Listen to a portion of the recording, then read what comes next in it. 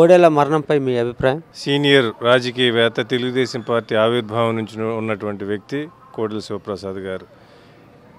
ఆయన ఒక డాక్టర్గా నర్సరావుపేటలో సేవలు అందిస్తున్న టైంలో ఎన్టీఆర్ గారి పిలుపు మేరకు రాజకీయాల్లో ప్ర ప్రవేశించి పంతొమ్మిది వందల ఎనభై మూడులో శాసనసభ్యుడిగా ఎనభై మూడు నుంచి తొంభై తొమ్మిది దాకా ఐదు పర్యాయాలు నర్సరావుపేట నియోజకవర్గం నుంచి ఒకసారి సత్తినపల్లి నుంచి పోటీ చేసి గెలుపొందినటువంటి వ్యక్తి కోడెల శివప్రసాద్ గారు.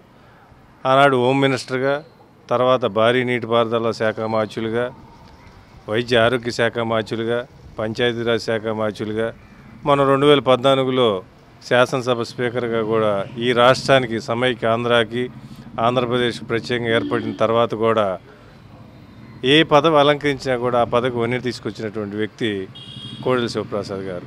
ఇవాళ ఆయన చనిపోవటం తెలుగుదేశం పార్టీకి తీరని లోటు. ఆయన ఉంటే కనుక తెలుగుదేశం పార్టీ ఇంకా అభివృద్ధి చెందడానికి అవకాశం ఉండేది. ఆయన లేకపోవటం మా అందరికీ తీరని లోటు. ఆయనకి ఆయన కుటుంబ సభ్యులకి ఆయనకి ప్రగాఢమైన సంతాపాన్ని తెలియజేసి తెలియజేస్తూ ఆయన కుటుంబానికి మా సానుభూతిని తెలియజేస్తా ఉన్నాం. కోడేల మరణంపై మీ స్పందన?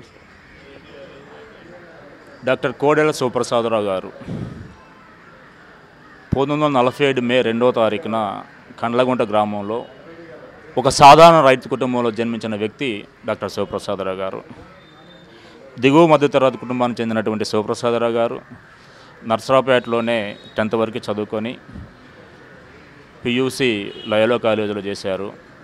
గుంటూరు మెడికల్ కాలేజీలో ఎంబీబీఎస్ పూర్తి చేసి వారణాసిలో జనరల్ సర్జన్ పూర్తి చేసుకొని వారి సొంత ప్రాంతమైన నర్సాపేటలో ఒక హాస్పిటల్ ఓపెన్ చేసి దిగువ మధ్యతరగతి వర్గాల ఆరోగ్యం కోసం నిరంతరం ఆయన కృషి చేసిన వ్యక్తిగా డాక్టర్ గారికి మంచి పేరుంది రాజకీయాల్లోకి రాకముందు. ఆయన హస్తవాస అంటే డా రోగులు ఆయనే నాకు ఆపరేషన్ చేయాలని చెప్పి ఆయన కోసం వెయిట్ చేసిన సందర్భాలు కొన్ని వేల సందర్భాలు ఉన్నాయి అనేది మేము విన్న సందర్భం. నర్సరాపేట ప్రాంత వాసులకి సుపరిచితుడిగా ఒక మంచి హస్తవాసి కలిగిన డాక్టర్గా ఆయనకి మంచి పేరుంది అటువంటి పరిస్థితుల్లో మంచి ప్రాక్టీస్ చేసుకున్న టైంలో ఎన్టీ రామారావు గారి పిలుపు మేరకు ఆయన రాజకీయాల్లో ప్రవేశించి ఎనభై మూడులో మొట్టమొదటిసారి ఆయన ఎమ్మెల్యేగా ఎన్నుకోవడం జరిగింది నర్సాపేట నియోజకవర్గం నుంచి. తర్వాత కంటిన్యూషన్ ఐదు సార్లు ఆయన నర్సాపేట నుంచే ఎమ్మెల్యే గెలవడం జరిగింది. ఆ క్రమంలో ఇరిగేషన్ శాఖ మార్చులుగా పంచాయతీరాజ్ శాఖ మార్చులుగా హోంశాఖ మార్చులుగా ఆయన పదవులను అలంకరించడం జరిగింది. ఆయన పదవులను అలంకరించినప్పటికీ ఆయన పదవులకే వన్నె తెచ్చిన వ్యక్తి కోడెల శివప్రసాదరావు గారు. పల్నాడు ప్రజలకి ఆయన ఒక పల్నాటి పులిగా సుపరిచితుడు. ఏ చిన్న అవసరం ఉన్నప్పుడు కూడా ప్రతి ఒక్కరికి ఆయన అందుబాటులో ఉండే వ్యక్తి అనేది రాష్ట్ర ప్రజలందరూ కూడా తెలుసు. ఎందుకంటే ఆయన ఉమ్మడి రాష్ట్రానికి మూడుసార్లు మంత్రిగా చేసిన వ్యక్తి డాక్టర్ కోడెల శివప్రసాదరావు గారు.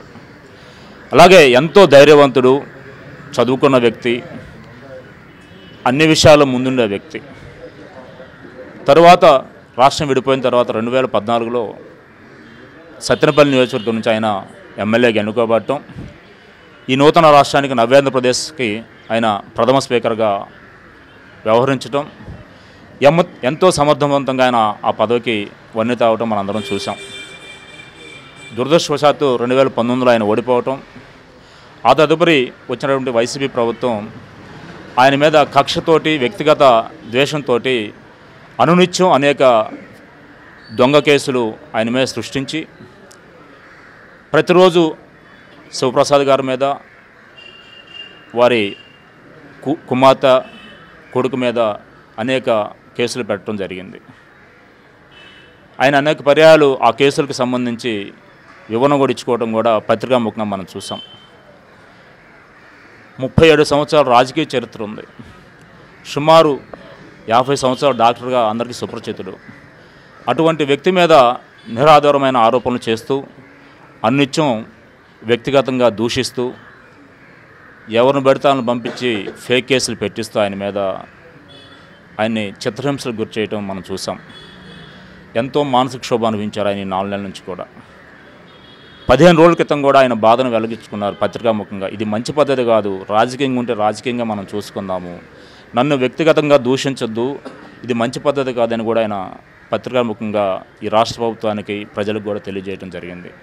అయినప్పటికీ రాష్ట్ర ప్రభుత్వం వీళ్ళకి ఇది ఫ్యాక్షన్ పరిపాలన వీళ్ళు ఫాసిస్ట్ పాలన సాగిస్తూ ఆయన మీద నిరంతరం ప్రతిరోజు ఏదో ఒక దొంగ కేసులు ఆయన మీద సృష్టిస్తూ పోలీస్ స్టేషన్లో కేసు పెడుతూ ఆయన్ని తీవ్ర మానసిక క్షోభకు గురి చేయటం అటువంటి పరిస్థితుల్లో ఆయన ఇటువంటి వాళ్ళకు నేను సమాధానం చెప్పుకోవాల్సి రావడం నా దౌర్భాగ్యం అని ఆయన ఫీల్ అయిన సందర్భాల్లో ఈ రోజున ఆయన ఇంట్లోనే ఆయన ఉరివేసుకొని ఆత్మహత్య చేసుకోవటం తెలుగుదేశం పార్టీకి ఈ రాష్ట్ర ప్రజలకు కూడా చాలా తీరం లోటుగా నేను భావిస్తున్నాను. వారికి వారి కుటుంబానికి నా ప్రగాఢ సానుభూతిని తెలియజేస్తూ వారి కుటుంబానికి తెలుగుదేశం పార్టీ ఎప్పుడూ అండగా ఉంటుందని చెప్పి కూడా తెలియజేస్తూ ఇది ఖచ్చితంగా ఈ రాష్ట్ర ప్రభుత్వం చేసినటువంటి హత్యగా మేమందరం భావిస్తున్నాము. చూస్తున్నారు ప్రజలందరూ కూడా. ఎందుకు ఆయన ఆత్మహత్య చేసుకోవాల్సి వచ్చిందంటే ఈ రాష్ట్ర ప్రభుత్వం చేసినటువంటి హెరాస్మెంట్ వల్ల ఆయన చేసుకున్న అనేది ఆయన పత్రికాముఖం కూడా ఇంతకుముందు తెలియజేయడం జరిగింది. కాబట్టి ఇటువంటి ఫాసిస్ట్ ఫ్యాక్షన్ పాలన ఇక ముందైనా జగన్మోహన్ రెడ్డి మానుకోవాలని చెప్పి కూడా వారికి తెలియజేస్తూ అలాగే ఆయన చనిపోయిన తర్వాత కూడా ఈరోజు ఈవినింగ్ రెండు తర్వాత మంత్రులు బొత్స సత్యనారాయణ గారు కానీ లేకపోతే ఈయన సత్యనపల్లి అంబటి రాంబాబు గారు కానీ సాక్షి పత్రికా ఛానల్ కానీ ఇంకా ఆయన మీద ఏదేదో మాట్లాడుతున్నారు. కొంచెమన్నా మొరాలిటీస్ పాటించాలని చెప్పి వారిని కోరుకుంటూ ఇక ఆయన ఈ ఫ్యాక్షన్ పాలన మీరు విరమించుకోవాలని చెప్పి నేను కోరుకుంటూ మరొకసారి పెద్దలు కోడెల శివప్రసాద్ గారికి నా ప్రగాఢ సానుభూతిని తెలియజేస్తూ వారి ప్రవి పవిత్ర శాంతి చౌకాలని కోరుకుంటున్నాను. Subscribe Media. Please subscribe Myra Media. Please subscribe Myra Media Myra మీడియాకి సబ్స్క్రైబ్ చేయండి. మైరా మీడియాకు సంబంధించి దాన్ని సబ్స్క్రైబ్ చేసుకోండి. Please subscribe Myra Media subscribe Myra Media చూడండి. ఎంజాయ్ చేయండి.